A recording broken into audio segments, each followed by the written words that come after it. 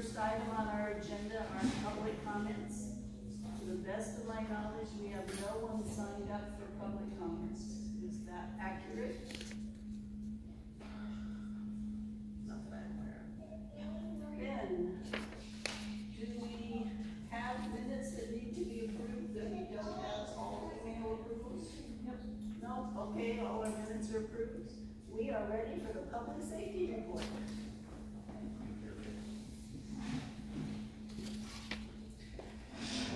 Thanks, Sandy. Good evening, everybody. I'll provide the, uh, s- uh, public safety report tonight. Uh, Chief Drake Massey, good to see everybody. Uh, since our last meeting, we had a little bit of, uh, activity in the Glen. Um, on May first, we had, we, our officer contacted subject up there with an outstanding, uh, warrant, drug related, near the, uh, one thousand block of Santa Cruz Island Drive, uh, took him into custody without incident. On the, uh, May fourteenth, we had a call of vandalism to some signs of the apartment building. Uh, a couple of juveniles were last seen, uh, leaving the area, they were now before police, before the police arrived. And then on, uh, May fifteenth, we had a public intoxication contact at Anacapa and Cathedral, uh, that situation. Just wanted to kind of provide everybody information, uh, a reminder that, uh, this weekend is commencement. Commencement will be on Saturday and Sunday, we'll have, uh, two ceremonies both days. First ceremony is at nine, the second ceremony is at, at one o'clock both days. So, the, the, kind of more of a traditional commencement that we've had in years past, last year we did this little drive-through thing, we had crazy routes through the, you know, we had to, we had to make adjustments. But, uh, uh, this year it's gonna be more traditional, no road closures, uh, should be, shouldn't impact the University of community too much, other than increased, uh, traffic on, uh, in and around the campus area. We've got signs up and, uh, start to see some signs come up now for the, for the anticipation of commencement uh, this weekend. Another reminder is on June fifth, uh, from noon to about five, we have, uh, the Casa Pacifica Wine Festival. And that will also, we anticipate fifteen hundred to two hundred thousand, fifteen hundred to two thousand folks that will attend that. Um, as you, as everybody living in knows, that, that, that all the music playing, that comes, you know, of echoes up into the University community, but, uh, they should have that all, uh, uh, wrapped up by about five o'clock, and, uh, hopefully all the Uber drivers have all the intoxicated people, to where they need to get to without incident, so.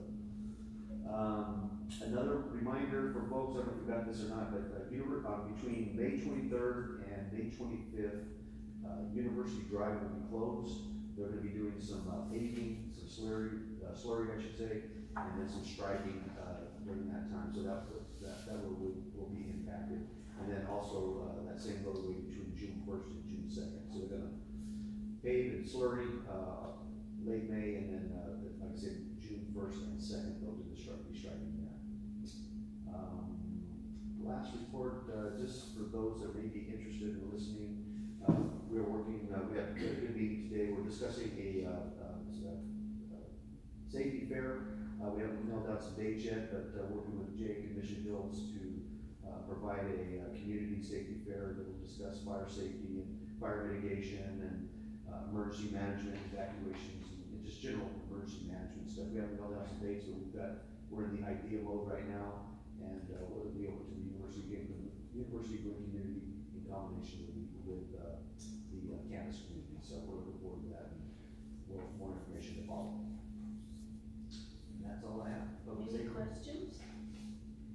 Yeah, Chief, uh, the three incidents that you reported, um, were those residents or were they drive-ins?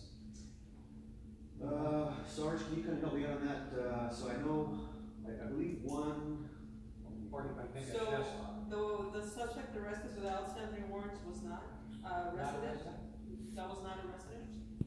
Um, and as far as the two ju- two juveniles that were seen, uh, taking the, the signs, we, we didn't have information that they were residents. Um, as far as the, the intoxicated subject, I believe that was. um, I believe that, was that's, uh, resident. Yes. So the, the, the, the first person, um, the first incident, um, you, you know why they were here? Were they, Uh, uh, I. I think they're, they're in a relationship with a resident. okay, got it. Um, two more questions. Sure, Real quick. yeah. So you mentioned Casa Pacifica, this is a really good question. Is Casa Pacifica within your jurisdiction?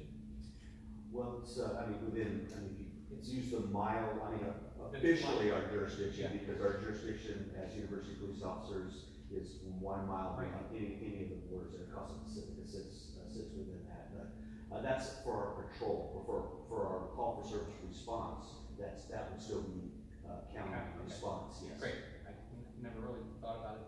And then, uh, the final thing, Safety Day, um, safety in the community could include more than policing type services, for example, fire.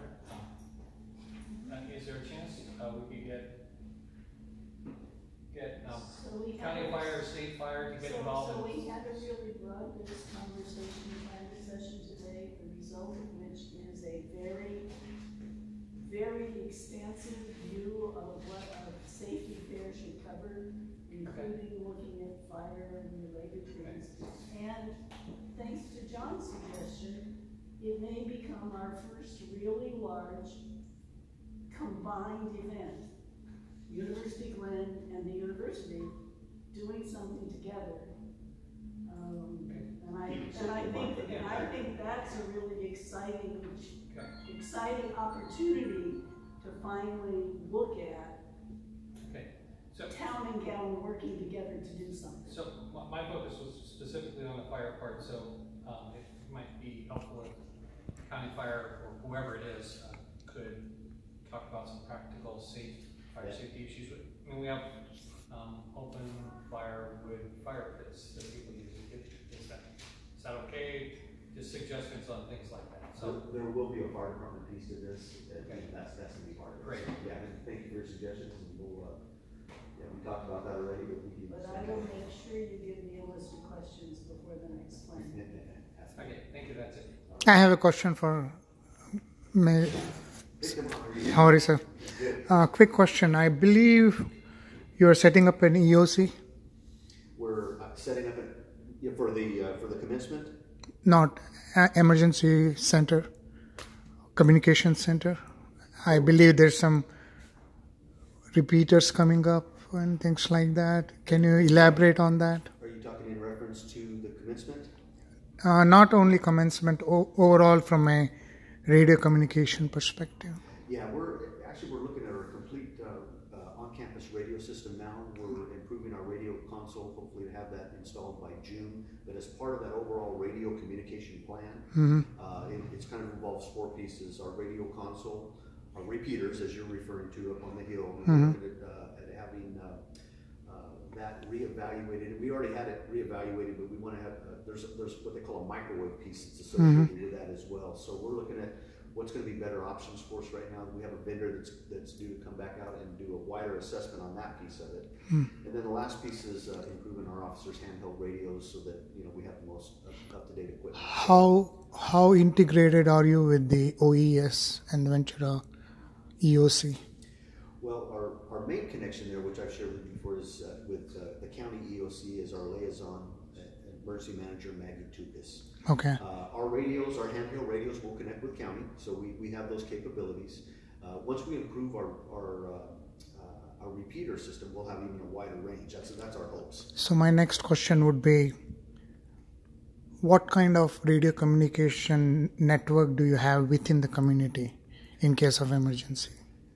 In terms of radios, Yeah, radio communication with the homeowners who are licensed to operate within the OEC. yeah, we don't, we, we, I don't believe we have anything at this point unless, or, you know, I know the, the. No, I'm just asking, Yeah. do you have plans to do that? Uh, certainly, we could, we'll entertain any plan for that. That's, uh, if that's something that, that you and I could perhaps get on a side conversation and see how that would work. We do like with our building marshals on campus. I believe there is some going on with uh, Mr. Jason Miller. With J, yes, so our, the ham radio, that's another piece that, that we're working, we're also working with him, uh, because he's part of the ham operator club. And, uh, well, like, for example, for commencement, they're gonna be, you know, using a practice session, uh, and, and, uh, using our site up there to help with their ham radio communications for that, as practice, so that may be something that we could look at, yeah. And how would that impact our UGlen?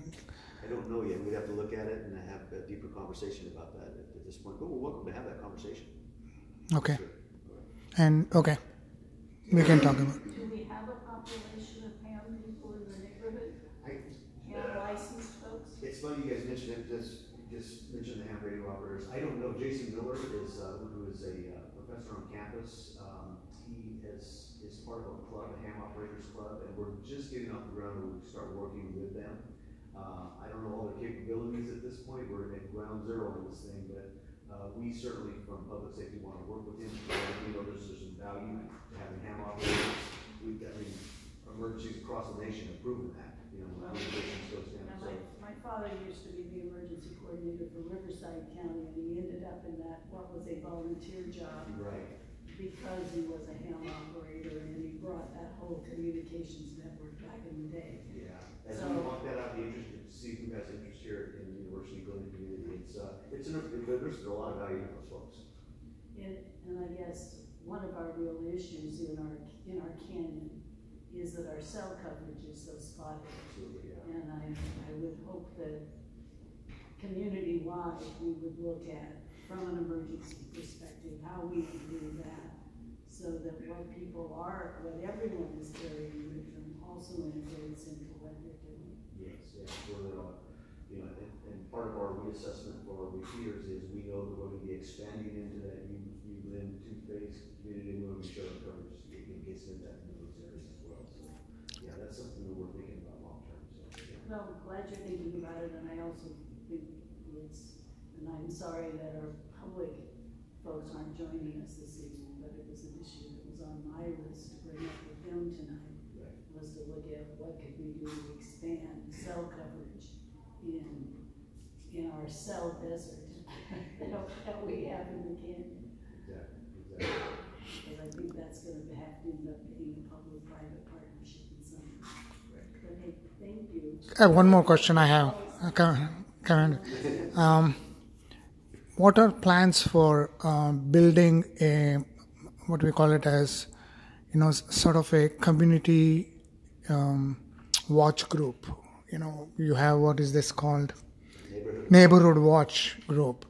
Do you have any plans to do that for our community once the 600 homes comes through? No, but that's, uh, again, we're, you know, we're always looking for, uh. Because that's part of you could get it as a CSUCI, I mean Channel Island uh, grant possibly. We'll have to look at that, I mean, it's something that we're interested in, obviously, we're gonna have an increased population up there, we don't know what the numbers would be, but Mm-hmm. fifteen to two thousand, we're, you know, Because that would automatically link with some of the emergency management. yeah, that's a, that's a good possibility. We're enter, we'll entertain that for sure, that's a, that's a good idea, you know, most all communities, a lot of communities have to do it watch. Mhm. Maybe it's time for us to consider it, you know. Uh, Okay. It takes community buy-in, you know, and, and. uh, I mean, I think we have I'm just a thought process here. Yeah, yeah, good thoughts. Thank you. Thank you very much. Thanks, Chief. Right, you? Good evening. Uh, Scott Godfrey, Bright View Landscape Services. Uh, Um, so this evening, just give you some, some real brief updates as to what we have going on, but, uh, mainly the overall focus that we've had, just as landscapers, has been water management. That's the thing that we've been really focusing on, trying to understand, um, the current regulations and how that's gonna impact landscape overall. Um, a couple things I can tell you is just as of this week, Camrosa does not have any current restrictions in place. Um, they do have a board meeting coming up on the twenty-sixth. So that is an open forum for anybody that would like to attend, but Camrosa will, at that board of directors meeting, will be rolling out their mandates. Um, so they do anticipate that. Uh, some other notes is just, just to know that the community would be considered a commercial account, so there's a lot of people talking about residential water and residential restrictions, just mind, bear in mind that we are a commercial account for water usage. Um, Is one- it, I'm sorry, is that for both fresh and? just in general, under the state mandate, we are considered a commercial account.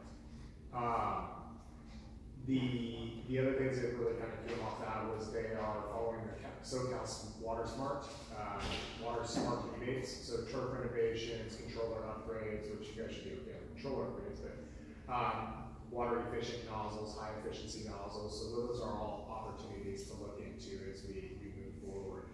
Um, but that's mean we're open to potential rebates or Absolutely. funding? Yeah. Rebates? Absolutely, so that all follows the MWD Metropolitan Water District rebates. Uh, Camrosa themselves does not, uh, does not administer any rebates, but they follow the WE program. Um, I think it's SoCal Water Smart, something to that effect. It's a pretty easy website if you want to find it. Uh, but some of the things, you know, like I said, turf removal, high efficiency nozzles, um, things of those extent are all things that they are trying to go towards. Um, one of the things that also we want to make sure that we are adhering to is, as recently they have outlawed the usage of non-pressure regulated sprinkler heads. So they don't even manufacture those anymore, or you can't buy them in California anymore. So anytime we're doing any sort of re, uh, sprinkler repairs or upgrades or anything, we are using the pressure regulating heads. So that is just a normal practice that we're doing as of recently. You have them, you can, the non-regulated uh, heads, pressure regulated heads, you can use them, but you can't buy them anywhere right now. So just something to be aware of. Okay, I'm sorry, so what does that mean to us? So what does that mean? Do we have them right now, none? So most of your sprinkler heads right now, that's just the pop-ups, the regular pop-ups, they're non-pressure regulated. Yeah. And they don't have any check valves on them. Okay. And that's when, that was the, whatever you use when it was installed.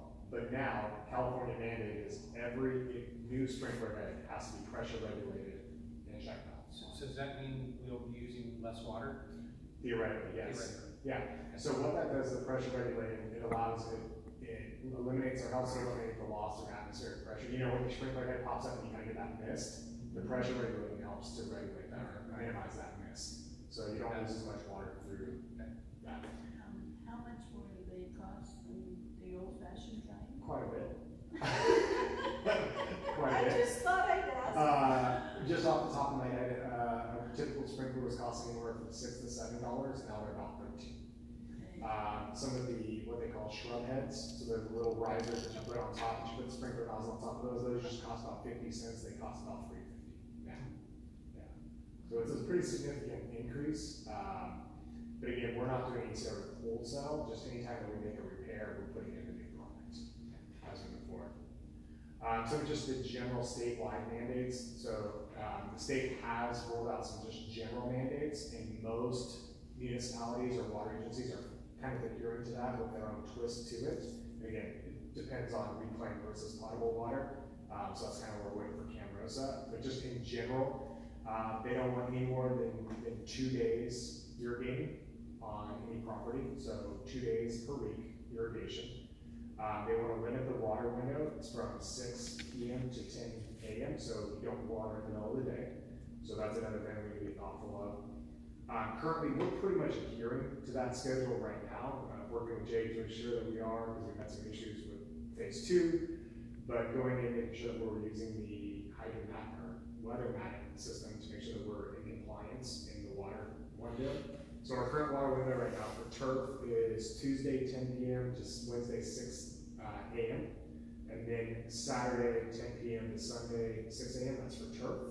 And then for our shrubs, it's Wednesday ten P M to Thursday six A M. So keeping those on those specific days. Mind if I interrupt you for a Yeah, go for it. I looked at Jake and John, so we've had a discussion in the last couple of weeks about the university here, when we water, that airlock and all that. Have we got a solution? I mean, are we, are these guys squared away now? Yes, Okay, we're good? yes, yes. Thanks. We, we, we've got, we worked together to get the, uh, the timing correct. And now that, um, the timing is correct on, on Brightviews part, we are scheduled, and it may have already happened, to close the valve. It has closed between, yeah. Yesterday morning after we lost, it was, between- um, it was, I Here it was applaud previous you all. comment. Thank you. You're good. I think there was a little bit of confusion on water on Tuesday. Okay, well, Tuesday in this case actually started, or, sorry, water on Thursday, Wednesday night, so we got everything working with Jason, so we got that sorted. Correct. So that when the university starts during the day, that we aren't, we aren't pulling water at the same time. We are gonna go through, we're gonna do, so Marcelo, our production manager, I will be, and the rest of the team will be out here tomorrow, just doing some, some inspections just to make sure that we haven't missed anything. Um, some just kind of thought, forward-thinking plans of action, just again, some recommendations, is we wanna make sure that we prioritize in high visibility areas. Um, we wanna make sure that we are preserving heritage trees. Um, you know, that could mean installing drip around some of these larger trees if we do have to do further reductions. So those are some of the recommendations, high visibility, heritage trees, we've got quite a few of them through the community. Uh, prioritize functional turf. So functional turf would be anything like the park, anything that people would use on a regular basis. Functional turf would not be parkway turf, so that might be something that we have to reduce. Parkway turf is just a strip between the street and the, the sidewalk, so they don't consider that functional turf. Um, and kind of lowest priority would really your hardy shrubs, where really kind of your, your, your hedges, your raphiolepis, stuff like that, be more drought tolerant plant material. They would be on the low priority low priority turf, um, if we do have to prioritize anything further. So that's the mindset that we're going with, we should have to make further changes to the uh, irrigation system. What are you going to buy total area, square feet area also? What was that, sir? Are you planning to look into the total surface area of high level and low level turf area? No? That's not necessarily something we'd be doing. If it's something that, that makes sense, then we could, but we're prioritizing by plant type. By type. Um, it's the other big thing that we're working on, sort of the June first deadline for brush control, we've got uh, a lot of it knocked out, but we, we tried, because I think I maybe one of the last times I was here, we wanted to start earlier on the brush control. So kind of start down the ravine, some of that has, we've got some of the bigger stuff, but you see some of the stuff's regrown, so the team's gonna come through here and just re-knock down everything and make sure we're totally in compliance, we'll probably want to schedule, something with Larry, you know, make, you know, We can, talk about, that. we're going to go over that. So Jake, uh, yeah, Jake, I meet tomorrow, make sure that we're in compliance and we're ready to go. Um, you will notice teams out here the next two weekends, just to make sure that they're pushing out, but we won't start early, we'll make sure that we're, uh, After nine. after nine. Have we determined, and I don't know to whom this question, whose property we're clearing? That is not in the, that is not, we're, we are getting the, We are clearing what Larry Williamson told us to clear last That's year. what we're We are doing that again, yes, which means that Tom's pending question about what portion of that is really UGlen's responsibility and what portion is the university's responsibility remains an open question. we can talk about it, Okay, So it's a pending issue. pending issue. Pen- uh, Pending Yeah, clarification. I mean, it I needs would to be say. done, the question is who pays for a certain part, that's all, who pays? Yes, at the present time, it is in the budget, BrightView's budget to do it. Um, speaking of pending items, we do have a list of a couple of pending work orders that we're going through, making sure we're checking those off, working with Jake and the team to make sure we're compliant with all pending work orders. Um, a couple of things, we noticed some plants that were struggling from phase one, the planting, so we wanna make sure we get those replanted and replaced. It's not a huge amount, but we wanna make sure we're thoughtful. Do you know roughly how many have been reported? Oh, gosh, I think we did something like sixty plus, I don't remember off the top of my head. Sixty? Yeah, Recently? specific, no, no, we're working on that, we're going, we haven't done it yet. Oh, but sixty have been reported recently. Yes, Yes. we did, Going we back did a last walk, we did a walk and, and looked at them. Uh, And that includes all of phase one, including, um, the town site apartments as well as Anacapa and Landing Cove. specifically focusing on the Loropetalum, the uh, purple plant that's got a little purple flower on it. It's one of the ones just that seems to have struggled the most. So we want to make sure we put a, a replacement together. do we know why it was, why it struggled? Was it light or water or? Loropetalum is a very temperamental plant to get started. And so if it doesn't have, it could be water in some cases, but it's usually very uh, shade tolerant, it's sun tolerant for the most part, so it's most likely water related. But it is a very temperamental plant to get started. Once you get it established, it's great, it's very drought tolerant. Um, but again, kind of getting them started takes a little bit of time. I've struggled with them in the past too.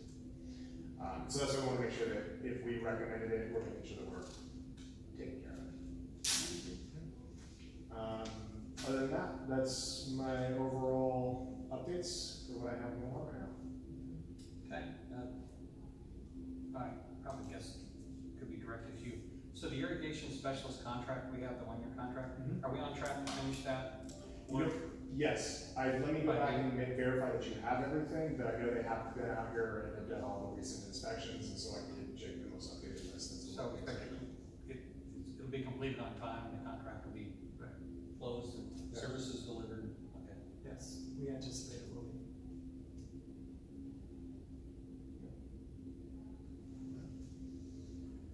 Anything else? Thank you very Thank you. much. Thank you.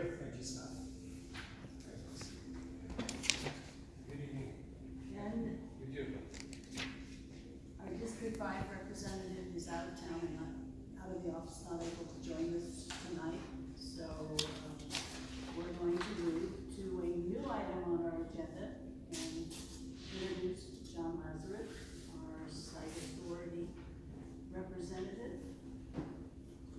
Thanks, Sam. So John Lazarus, I'm the Executive Director of Operations for the State Authority. Um, so first item on my agenda is, now that the playground's completed, UGCAM sent out a notice to the homeowners who, uh, while the playground was, uh, closed, put up outdoor swings and whatnot, and basically said, you have a certain amount of time to take them down, or, uh, UGCAM will have them taken down and charge those homeowners hundred dollars, I think they have thirty days to do so.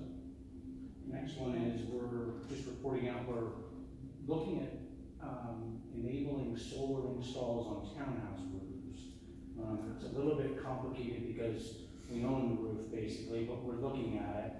Um, okay. You have questions, sir? No. Um, So, do you wanna go through and then we'll ask questions at the end? however you prefer. Um, on that one, I long had a, had a desire that there be a conversation that in lieu of putting solar on townhome roofs, that we instead do something in cooperation with the university and look at potential grant writing to expand the existing solar farm and use that source of solar to provide the solar power that the neighborhood uh, would like to, to achieve. And I'd like that to stay on the agenda as an alternative to individual solar, because individual solar on the townhomes, as you understand, is complicated. Because at the point, especially complicated on twenty-year-old roofs. So we're about to enter the part of the bell curve that says we're gonna be replacing townhome roofs. And as soon as we put solar on a roof, that's the one that will fail, and the owner will have to take the solar off, and the roof will get repaired and replaced and repaired, the underlayment replaced, and then the owner will have to come back and reinstall it. That's a pretty substantial expense to that owner. If we can come up with an alternative way of offering people local solar power, um, in a sensible way, and if we can get grant funding to build out the infrastructure to do that, uh, because that offers the whole community the opportunity to go solar potentially. We might be able to get somewhere in partnership that we can't get to individually.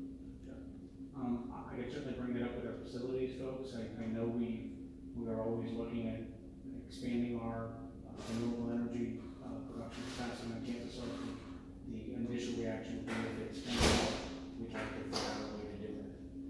Um, Are you gonna speak any more on the solar topic? Because I, I have a solar question as well. yeah, please go ahead. So, uh, it's kind of a follow-up to Sandy's point. So, uh, if I were to put a solar roof on my townhome today, let's assume that can be done. Um, well, I, and then the roof has to be replaced as part of the schedule replacement in ten years. Uh, five years, will I be responsible as an owner for having that removed? Or will that be part of the, the deal? I think we have to, that's, that's, that's, I, there's three issues that I can think of, and that is one of them. That's what stops me right now. And I think, I think that that's a tough question. I think we, we wanna make sure that whoever is responsible for that knows that they're taking on that obligation and, and bakes that into the budget. So, so they, an an owner would be taking that obligation on, is No. that the policy? Not at all, we do not have a policy. I think what we need to do is work, with the, you know, Yeah. what happens if the insulation damages the roof? What happens if we have to remove it? What happens if somebody doesn't pay their bill and they wanna come and take it? And how do we make sure everybody's, To be determined. yeah. I appreciate your more open, start at the beginning conversation about this, because every other conversation I've had has baked into it the assumption that the owner is responsible for removing and replacing, um, solar that they install on a townhome roof. That's been a kind of baked into the conversation, and I really appreciate your, your openness to at least have a conversation about that. John, I have one more question if you don't mind. Um, I believe many people are using wall mounted solar power for their charging their cars, especially Teslas. What is the policy on that? I'm not familiar with wall-mounted solar, so it's only on the south Mm, side yeah. of the house then? hmm I- I'm not certain, I'd have to look into that, I've never even heard of it. I mean, you may want to look into the total policy also from a ground sublease perspective. If somebody is install going to install, We, we've approved solar roof installations for not roof, single-family wall installations. I don't think I would have a problem with a wall installation for a single-family home. Uh, what about townhomes?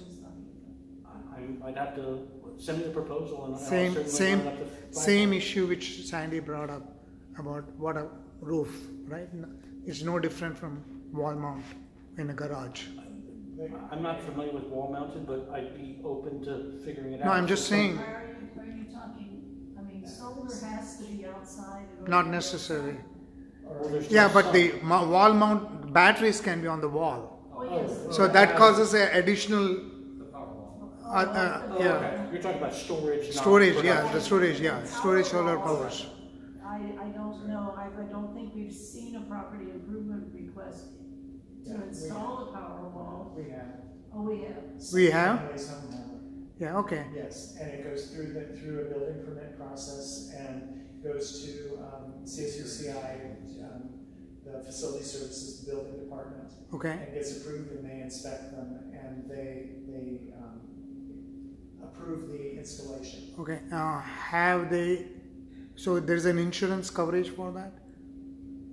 The point is, is that single families covered. I'm not talking about single family, I'm talking about townhomes. I We don't haven't think- done it on townhomes. Okay. That's exactly what we're. No talking homes about. have been, okay, but No, are, are we going to have it? Let, let me comment. We do allow the, the installation of additional outlets for electric car charging. Because those, some of those, my understanding, um, correct me if I'm wrong, I'm not sure, some of those may be two twenty. Mm-hmm, And that is up to the individual owner to pay for the, the upgrade from the one ten to the two twenty. And that is all within, the, my understanding is that those are all within the confines of the garage and the, the, um, um, you have to, townhouse themselves for, um, um, and that's basically to charge electric cars. so I'm, what about the inverters between one ten to two, two twenty? You don't need an inverter, that's AC They don't, they, okay, so there's n- n- no diff, n- no changes in the main fuse board, is that what I mean, I'm, an electric car, it's basically what a, a dryer outlet is, effectively, it's like that. so not an issue? So you have it, to my understanding, I, I had, a- had a friend give me a tutorial on this, so you're getting it second or third hand. Um, You have the option of using one ten power, two twenty power to charge your, Right. your electric vehicle. Mhm. Obviously, it's much faster with two twenty. Yes, If a townhome owner wished to use two twenty charging, they would need to upgrade their electrical box, exactly, doing all the things that Jake has just mentioned, filing a, a permit request, paying the permit fee, getting the installation done, getting it inspected, and. so, I mean, there's clearly interest in solar, that's obvious to me, and we want to figure out a way to make it work, we just need to do it in a way that's fair to everybody. There is no doubt there is an interest, the question is, um, let's think about it properly, instead of going and saying, yes, you're allowed to do it. That's all I'm saying. Well, I would Let's also, have- I would also offer that there is, that the two can be married, but they don't need to be married.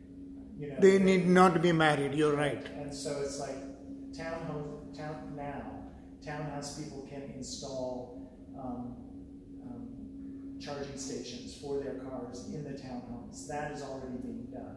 Now, and I know that then there are those people who have single families who have the solar that can be used to charge their vehicles. So, you know, that is, that at one extreme, because of ownership, Mhm. we have the example with the single families. Correct. We are looking and going because of the jurisdictions via the ground sublease, Mhm. what is the site authority's responsibility for the townhouse, and that's what we're. That's exactly what I'm talking about, is Yes. let's think about this in much much more detailed way. We, we, we are, Okay. yes, thank you. Next item I have is at the May 9th Site Authority Board meeting, the UGCM budget was approved, I think you're gonna present on that. Um, budget was approved, the one thing that I wanted to bring to the, Site Authority Board's attention is, it's, we, we seem to have a underfunding in townhouse reserves, and I made sure that they understood that. Um, the budget otherwise is, um, you know, uh, I think a reasonable one, and then the last item I have is, um, I don't know who's aware about the Early Childhood Care and Education Center. We're planning on building one on campus, and the campus was granted um, five million dollars for the nineteen twenty state budget uh, to develop, to design uh, infrastructure. And there's basically two sites under consideration. I don't know if it's officially Big Rock Park, but uh, sort of on the northeast corner of campus, right as you go over that short bridge on the left-hand side, or where the Carden School currently is, which is basically across the street. Um, we're still very much in the discussion uh, phase. Um, the education department on campus, and it's going to also provide a lot of opportunities for our uh, sort of primary education uh, major students to play a role in that. And so we're excited to see it move forward. Well, um, well, I assume it's tuition based of some, some type?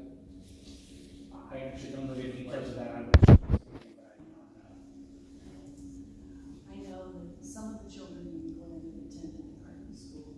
um, And, and it is, I think, an opportunity again for, for cooperation between a neighborhood that has children and a facility that's gonna provide childcare. I, I, I know that the, the goal for the center is to provide uh, childcare for students, um, and the community, farm workers, sort of the entire community. So it's, we're very much gonna try to bring people in. The Eagle community seems like a no-brainer to me, um, but I think it's, we're casting the net wider. Well, right, and I, and I've read the proposal that, that was submitted and got funded, and I, I, I just congratulate the university on gaining the money and moving forward. And that's my recommendation. I have a question about, um, the, your, your last, um, bullet point about the, um, childcare. Um, so Carden is not in any way owned or funded at all by CSUCI, right? They're privately owned? I don't know, I, I, I, I know that they are not a part of the campus. Okay, But I, I actually never dug into their finances to figure out who owns them and. Okay. so I'm just curious, if, if the current Carden site was not chosen for the new location of this program, um, so we would have like two childcare options on campus, basically? I mean, the, the academic affairs, people, the, the education department is really taking the lead on this. Okay, And I'm not privy to those discussions, other than, I know they're excited, I know they got this five million bucks, I know they're in the sort of site consideration part. I get tried to do it a little bit because we own Big Rock Park, and so there's sometimes questions about easements and whatnot, and what's possible, but I'm afraid I just don't have all those. so is it your understanding Carden is going away? And this is No, going to it's take gonna- place? It will, I think it'll still be Carden. It's just Okay. gonna. I- Okay, so the, the name itself will remain the same? But it's a, it's a private enterprise, so. Yeah, that's what I'm confused But about. I, but I, I think the first, I mean, we're at the step of figuring out where. I think Okay. if Big Rock Park was chosen, I would assume that your sort of overall line of questioning would be Yeah. explored Yeah, by people who are educators, you yeah, know, who have PhDs, and I do not. Yeah. Um, But, uh, I don't know the answer. Just in terms of early feedback, and let me preface this by saying I've never gone to that, the rock park, but there's already been a lot of, uh, rumble in the neighborhood of everybody being really sad about the possibility of living, losing Rock Park, so, um, I don't know how much community buy-in there will be, um, on the, on the topic of location, um, but I think it would be good to at least try and bring, you know, some sort of conversation forward, um, among you, and I know a lot of people utilize that park, uh, particularly for taking photos, um, so, and, you know, I, I- think just, hopefully we can have open conversation about it, um, through regular updates. I don't know how we will communicate those out to the community, other than through the HAC, um, or the e-blast that, um, Jake sends, but I've already heard literally from more than a handful of people, and I, I actually had to ask, I was like, what's Rock Park? They're like, you know, the park the huge rock. I was like, oh, okay, yeah, I know it is. Um, so it's definitely, it's definitely a, t- a- a topic of conversation in the community already. I appreciate you you sharing that with me. I will report that back and I'll make sure to put this on my agenda next Who, month. who knew a big rock was such a big thing, but apparently it is. It's It's beautiful it's got a little great spot. tree there. Yeah. It's, it's, Yeah. it's, as a photographer, Yeah. I can tell you that, Yeah. that, that that is a very interesting place Mhm. to take pictures because light and the rock do a dance. Mm, And what you see depends on what time of day yeah, and how the light is hitting the rock. yeah. And I especially like it when it's a person. Well, you know more about that than I do, so thanks so much, Tony. So the point is trying to engage us as they start sorting through the location. Yeah, Um, I, I- I have a question backing up on stuff on the budget and the site authority board. So when the, uh, the site authority board approved the budget, I, I did listen in on that meeting. Um, is it, is it uh, implicit that they also approved, approved the level three reserve study with that? Is that part and parcel? I mean, is that study Well, officially it- sanctioned? It is the basis, it is the basis of the reserve numbers that were in the budget that were approved. So it wouldn't be illogical to say that they did, but they certainly didn't explicitly do it. I think that's all correct. Okay, so that could be published soon, that reserve study, and, and we can consider it to be sanctioned by the site authority. I, let me get back to that. Because it's, it's, it's an important issue. It is. We're trying to figure out what our reserves look like, and we need a study, an updated one to really see how well our, we are or not doing. And, you know, and there, there's some other issues, John, that you've been dealing with some of us on HEC and other things that, that the whole Mellaroo situation, I know. When it comes up, you've indicated it's being worked on. Yeah. I assume that's still true? It is. And is there a timeline on when there could be a I- focused discussion on that? I, I think I'm gonna have information, I, I've rolled out some information, I can, I will continue rolling out. When I get to the bottom of the list of questions that we all consolidated on, I don't have a timeline, I can't imagine it's months, I would imagine it's weeks or months. Um, we're- lose Kevin soon. I would really like Kevin to be, I- I- as I continue to say, I'd really like Kevin to be a part of the I, I. I assure you I am doing what I can to push the issue along. Well, let, let's, Okay. let's just take that question offline again, um, and I, we just continue the conversation, because I, I- maybe we don't need all the answers before we have a conversation, is where my head is. That we could have a conversation, and then that will, that will surely engender more questions. So if we had a preliminary meeting on the subject, uh, now, and then delved all the rest of the way. Everything we have done over the last year on this subject, every answer we've gotten has created another question. And so, doing an interim meeting might facilitate us getting to the end of the questions sooner. I agree. You for coming and for doing this. Thanks for having me. Is it, is it your intention to do this regularly? Yes, Oh, cool. Thank you very much. you're welcome. We really, I, I frankly, I appreciate, I appreciate the fact that you've been coming, uh, since you were appointed, and I appreciate the fact that you're willing to, to take questions and have a dialogue with us. I appreciate being part of the conversation, so thank you. Thank you.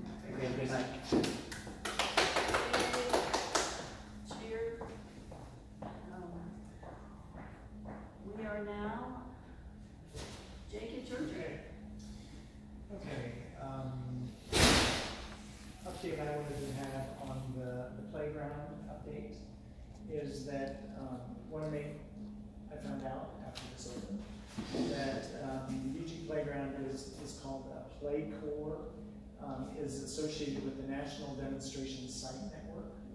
Um, users are encouraged to access information via the QR code on the signage near the entry, entry gate The QR code will also give the opportunity to take a survey, and we encourage users to, at, the playground, comment on their experiences at the playground, and answering the questions with the survey can contribute to further development of the, of the play core, um, um, criteria.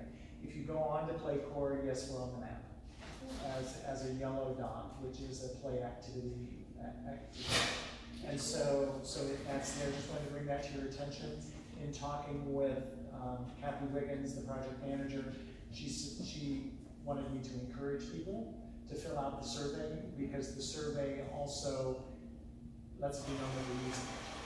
You know, and so anybody that you talk to, say, just fill fill it out, you know, and it doesn't take that long to do. And you would fill it out ask the again. landing code to do the survey. Right, and they can also do it a second time, you you know, it's like, so, so that we can give them, um, lots of data. Is that something that you'll be including in, uh, a, a, a We can meeting add that, yeah. We'll do That'd be great. Yeah, What was that because called? Uh, to add it to a. To June, we think it's kind of like a reminder. kind. Yeah, that'd be great. Yeah. And I have to say, if nobody's been by there, um, any time of day, any day of the week, um, it was a great use of the community's funds. Everybody, um, young and old, I feel like is really enjoying it. I am asked daily to take my daughter there, so, um, yes.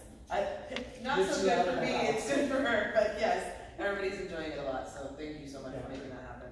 Thank you. One other thing we're, we are doing is that the area where the dirt and the grass is, we're looking at what the best way to address that is, and we have several options. And, um, we've been talking with, um, with the site authority about it and also with the mag about it, of how, how that's gonna work out. My next little tiny piece of feedback, um, would be, I wonder if we, we might, it seems like it's okay, I've seen the benches be filled up in there when I've been there. Um, if we could get maybe a little bit of additional seating, I don't think it's, you know, like, end of the world if we don't, but it'd be nice, Like, one more bench? like, maybe one or two more benches. Two more be good? Yeah, Okay, because then, right now, there was one inside, one outside, and Yeah. we're moving the outside one inside. okay, And then, um, I'm looking at, in, in conversation with, uh, Mission Hills Management. They would really like to have those on concrete pads that are Okay. anchored, Mhm. so they aren't moved around Yeah. and, you know, tear up the, the porting place potentially, and Yeah. everybody wants to point the finger, what. I, I would say, you know, as an alternative to additional benches in there, if there was an option of having like a picnic bench, because I know a lot of people like to go down there to, um, have lunch with their kids while they play. Um, I think that would actually probably be an even better option for the area, because I think we have the space for it. Um, so that's another option. That's too. good. That's a great idea. Yeah. Is food allowed inside? Uh, there's no sign that says that it's not, so I'm assuming that it is. I'm, how, I'm not sure how we would regulate that. Yeah. Good try. No, no, no, I, I, I'm not taking a position, I just wanna make sure we don't put in a picnic table when, Yeah, and especially the vendor says, like, Yeah. don't have food in the rubbery stuff, it's bad. Yeah, no, I don't you can't eat in there. I see lots of As long as snacks. Let me compatible let me with. double check, let me double check, Yeah. I'll So, check so with the the, rubbery stuff is important for safety. Right, It's also got a list of rules, oh, okay. probably taller than I am, Mhm. um, especially as short as I am. But it's, it, But there- there's warranties involved and things like that, so. Right, right, so, Okay. so we just. Yeah, I wouldn't, I wouldn't encourage putting the table on the cushy stuff, no, but, it would be, over in the there's, corner, yeah, yeah. over in the corner. Over in the corner, Yeah. away Yeah, from, that way.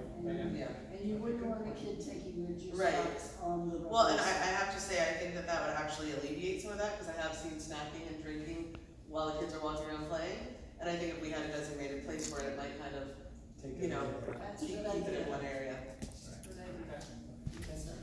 Good idea. You're Because- interested, Because as we all know, the rubbery stuff is Yeah. essential and very expensive. Yes. Um, as, um, Brett, you mentioned, we'll have the, um, brush clearance completed by the, um, first of June. Next item was, wanted to report that as a result of the landscape, um, maintenance RFP, um, BrightView Landscape um, um, um, um, Service Contract will be terminated as of June thirtieth. In consultation with Site Authority and HAC's Landscape Committee and Mission Hills Management, is working with Gothic Landscape Maintenance Division on developing a contract which outlines the expectations of the landscaping in University Glen clearly. The contract will also include documentation of services rendered. Consequences for not meeting the stated expectations will include consequences if an agreement upon time, uh, if, a, if an agreed upon time frame is not met. We anticipate um, representatives from Gothic, Gothic Landscape will attend the June 16th. And, um, has, I'm assuming, right, he's already been, Yes. okay. Yeah, we, I told them before I told Gothic. And it, and to let you know, there were, it, it, there were, um, six, initially seven, six, um, firms that responded to the RFP. And immediately there were two that were kind of too expensive. So then we continued the conversation with four. And of those, um, when it was a combination of the, um, of the, of the money part of it, as well as it would seem their understanding of the project, our nature of our irrigation. And, um, so I was very pleased that, um, Gothic kind of stepped up and, um, seemed to understand, and I'm, I'm confident that they will be able to, um, continue where we left off with, with BrightView.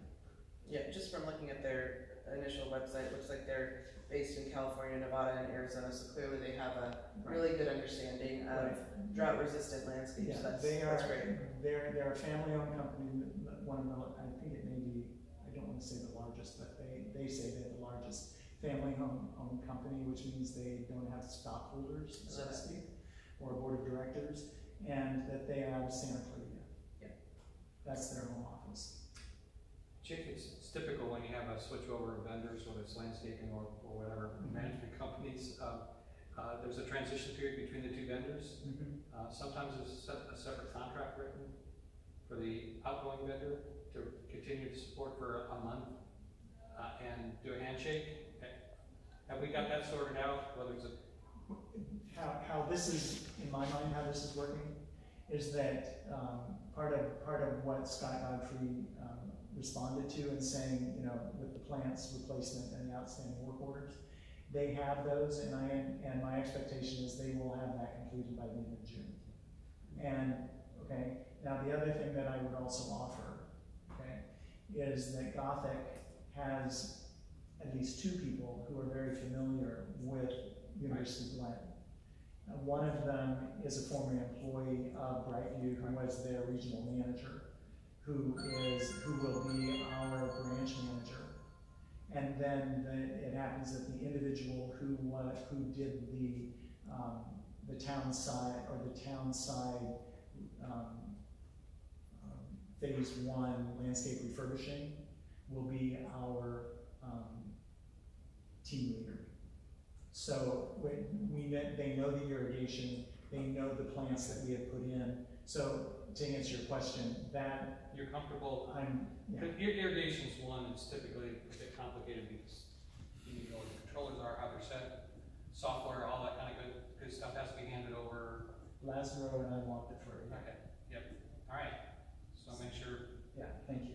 This, Where- Yeah, that was, that played a, a role in this. Yeah.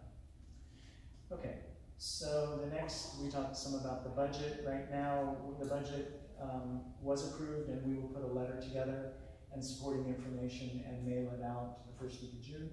So that, um, we- would anticipate a more, um, detailed conversation about the budget at the June sixteenth meeting, HAC meeting.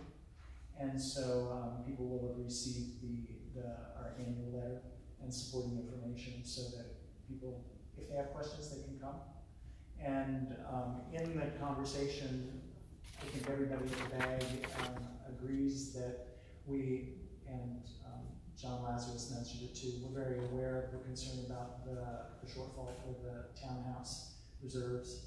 And there are several, um, possible solutions, and the next year is really, what we're, we're looking at how we're going to implement that.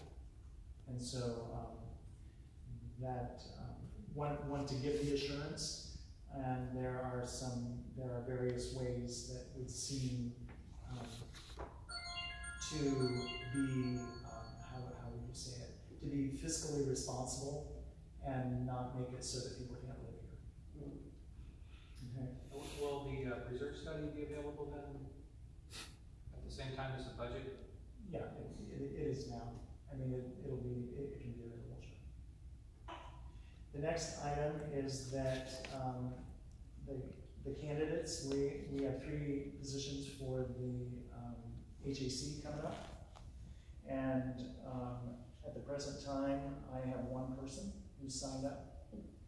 And I've, I've been talking to several people and, um, I would hope that we can talk to people and invite them to um, fill the position. I think tonight's meeting, um, I don't, don't quite know what to make of it when there are, you know, three residents and three people from the HAC. And it seems like, unfortunately, when it's this way, it runs very easily and everything gets answered and everybody seems to be very cordial.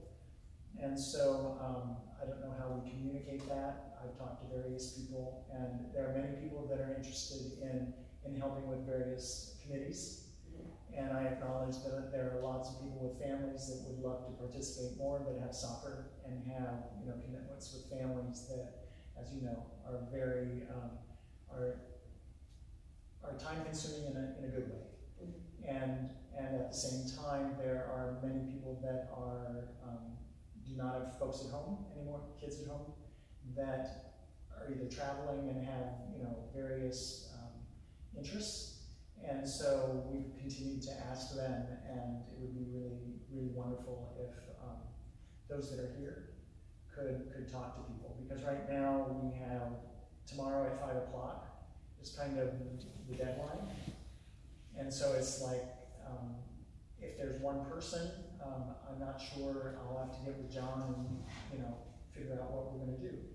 But, um, if anybody has any questions or people wanna call and talk to me, I'd be happy to, um, entertain any, uh, conversation. Is there, uh, have we ever discussed whether, um, apartment dwellers could run for HAC, or they have to be a homeowner here? My impression is that this, this is pretty much homeowners. Okay, And, and where that comes was initially, you know, when we first started five years ago, I know that the asset manager attended the HAC man. okay, You know, that I think my impression is that um, Kennedy Wilson multifamily and EJ, E&S Ring would consider that they would, they would be the representatives for the rentals okay. on the HAC if that would be the case. And then maybe, maybe, maybe we need to talk about that, you know, and so. Cause I, I, I think especially when we're in a, a situation where there is, you know, shared expenses, I mean, it makes sense for the people that are renters to have some say in Do you think the renters would, do you know any renters that would? Um, I know one that comes to mind who I think might be interested, um, but I think, you know, just putting it out there, I also think, you know, like when we did the postcard thing, um, for, I think, for something, The town hall. yes, for the town hall. Um, or maybe putting, I don't know if you've already put flyers on the mailboxes to kind of solicit interest. Um, I know you put it in the e-blast, um, I'm just trying to think of other avenues or outlets that we could use to kind of, um, advertise. Um, I think, you know, I'll be, I'll be frank, I think a lot of these meetings have been contentious, and I think that people are probably not, you know, um, really, you know, looking, it's, it's not something that looks fun to be a part of, right? Um, and I don't really know how to damage control that. Um, so I, I think it's, you know, kind of just a, uh, and I, I kind of spoke to this at the last HAC meeting that I was at here, you know, there's, there's a lot of contention and, um, it's very, somewhat of a lack of, you know, really feeling like there's teamwork between the community and the HAC, and I don't know how we turn that around, um, at this point, but I think if we could find a way to do that, I think there would be a renewed interest in serving the community in this capacity.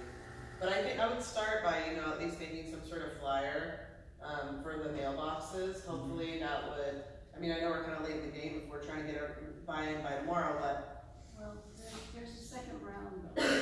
okay. let's, let's kind of worst case scenario it. Yeah. If, um, if we only have one person who has put their name forward, that person is going to be Yeah. elected. Um, We would then have two vacancies. Um, and it will be our responsibility as an HAC, the continuing members and the person who would be elected, to fill those two vacancies. Okay, And at the point in time that we solicited, um,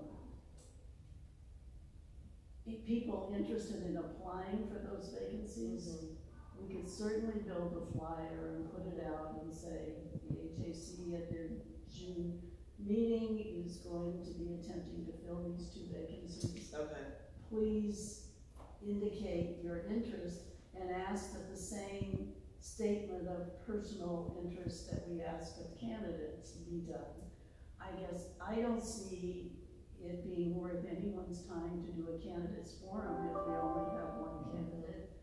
But I do see building a much broader application process for the vacancies as kind of a second, second attempt mm-hmm. to go after this. I know lots of us have personally talked to people and gotten the same response, Right. which is, um, I really don't wanna be involved in, in, I don't feel it's the best use of my time. Right. Those, those Um, kinds of answers seem to come. this is kind of peripherally related, but I'm just thinking about, I was actually thinking about what you were saying about the QR code on, at the park. And I wonder if we try to shift some of our communication with the community to a QR code that we could put on, again, on, we could just have a standing QR code that goes on the outside of the mailboxes. And whenever anybody walks by, they can flash the QR code and see what's going on in the Glen. This could be one of the things that, one of the topics that we could use.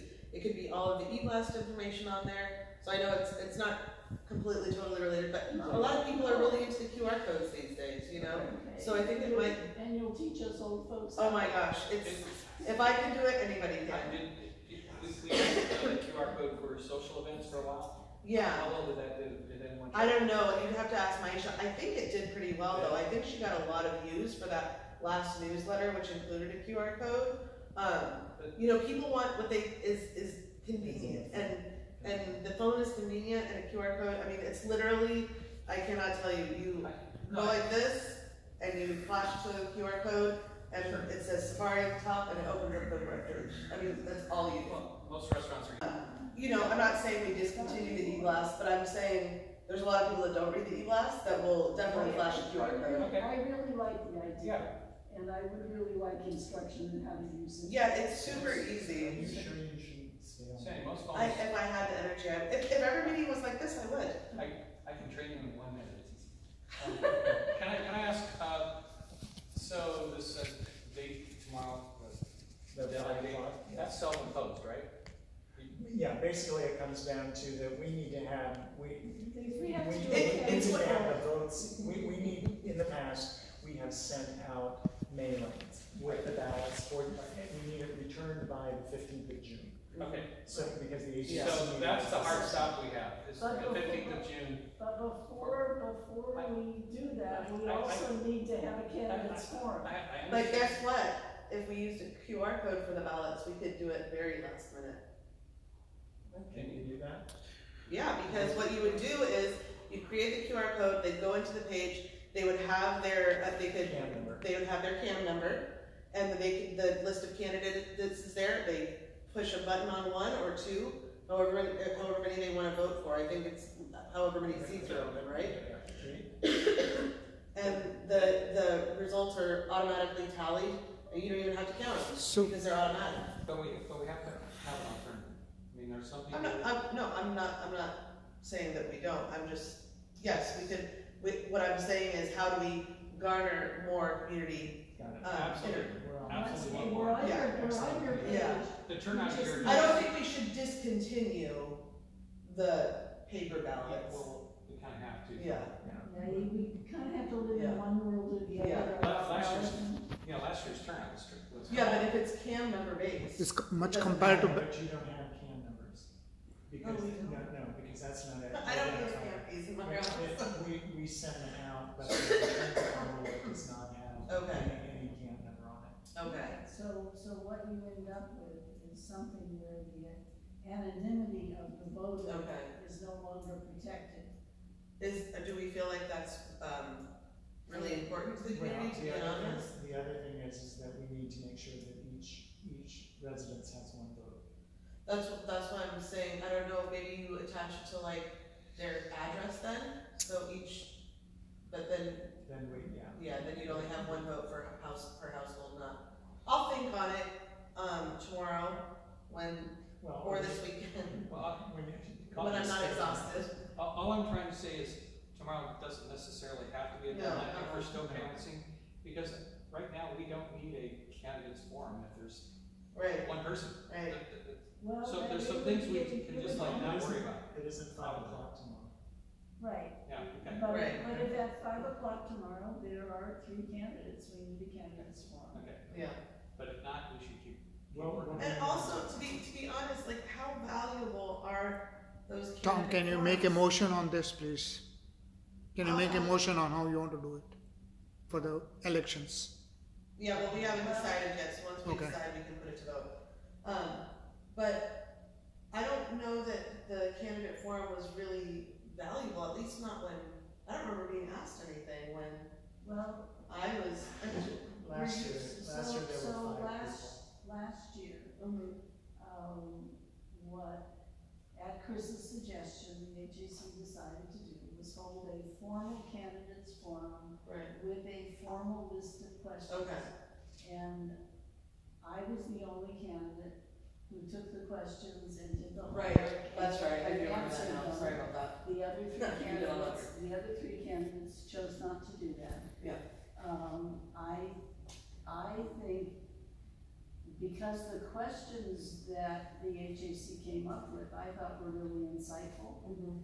And they gave, a- gave the neighborhood a chance to figure out where you were. Um, I will say though, Sandi, I feel like you're kind of the exception to the rule in the community in terms of knowing, um, the history of, of the community. I just don't know, I mean, I'm not opposed to it, I'm just saying I don't know how valuable it is for the majority of candidate, candidates that come through the door because, I mean, you, you could have asked me the most simple question when I was a candidate and I would have been like, I, I have no idea, sorry. Like, I'm gonna do as good of a job as I can, but I really don't know anything yet. And I, I don't disagree with your concern about the candidates forum. All I know is we had the best turnout last year than we ever had for anything. So Wow. something worked right. Okay, I don't know what. okay, yeah, It was great to see that kind of participation. It, Okay. it was, it was, Okay. so, so, We derailed you, so, sorry. so So let's- do, do we have a consensus about how we'd like to proceed? um, I wanna think about it, and then, um, I think we check in with each other. Yeah, we can at check in. Five o'clock on Friday and have a sense of, see what, see what we have. I mean, what, what, what's the worst case scenario if we need to delay the elections a month?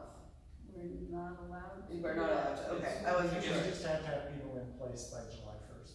Okay, alright, because, you know, to Simhan's, um, point, you know, we don't wanna make decisions about how we're gonna handle the elections without community input, but yet we don't have another, when, I guess, I guess that could be enough time, if you think about it, if we, um, can figure out how we wanna handle this by the next HAC meeting in June, that might give us like a good 10, 12 days to get, you know, get community input, get approval, get the, um, voting going, and Give get, get, I mean, twelve days is, that's, that's almost two weeks. Have, have a backup plan. It's a good idea. You know, just have a backup plan. Yeah. We'll, we'll so, check in on, on after Friday or okay. Monday or whatever. Okay. And, and take it from there and come, come up with a, with a plan. Sounds good. Okay. Um, okay, informationally, the uh, camp office will be closed from Memorial Day, so don't, don't come and what? try and get what? What I know, don't try to come and get temporary. um, and we talked about the water. The last thing that I have is that just want to let everybody know that our, my dear assistant Ivy is going back to school. starting Congratulations. Congratulations. and um, she isn't quite sure which law school, but there will be a law school in her future. Nice. And so her last day is going to be, it appears to be um, July, July 29th. And so what I would like to put out there in the community is that um, there will be a half-time position open Okay. for someone who is computer literate and um, enjoys working with people, good, bad, and the ugly, and um, enjoys um, basically serving the community. And it's, it, I think if you'd ask her, it's, it's, it's a very, um, how would you say, flexible time-wise, Mhm. and um, willing to talk to, to anybody, you know, young, old, male, female, yes? How much does it pay? Um, at the present time, I think it's twenty-two an hour. I actually have somebody that I think. Jake, is it possible you could put together a sort of a um, roles, de- yeah, roles description, and that way we can put it on the website I just, I know that you said that. the and hours- expectations. The hours are flexible. What's the hourly requirement per week approximately? It's twenty hours. Okay. Twenty perfect. hours is what is budgeted, and Okay. what we really try to do is do four hours a day. Okay. And what we, what we have worked out is we kind of go over, that I go to lunch, she's there, and then I come back and she's, she's Yeah. just left, or, you know, Great. then we're covered basically from nine to five. That's- I always go when you're gone, because she's a lot easier to work with. Yeah, I know. that's, that gives you that option. I wanna give you that option. And also you live your home thinking of it, so you Okay. just work there, so. So that, that kind of is what I have. So, um, any questions? No? Thanks for this. Is that your, is that your uh, entire report? That's my, Are you gonna shall talk about any- going? No, what? You, uh, you What are not- you thinking? Putting the budget aside, are you gonna talk about any other financial issues? No, sorry, I'm not giving a, rep- I don't have a report for the monthly. Are you doing the? I, I have a couple specific questions, I think I sent it by email. So I, I noticed we have a reserve expenditure for a furnace for seventeen thousand dollars. My question was, was that, were there extenuating circumstances, or is that Yes, what we can yes. expect now? Mm, Okay, what, having to do with the, the townhouse reserves for the, um, heaters. Right. Okay, um, this was the first one we've ever done. Yep. It was one that there were, um, babies involved, um, owner who was, um, going into Thursday, Friday, and then there was a long weekend. And so we got it taken care of. And when we were completed with that, we realized that it, it included uh, the air conditioner as well. So it's like, so now, because they were one unit, okay, so it was, it replaced, it replaced the heater. And there was connection to the Okay. air conditioner, which from our standpoint, we would look at what we learned. Was that in the future, we have a, we have a- an amount that we will pay for, and the owner can do it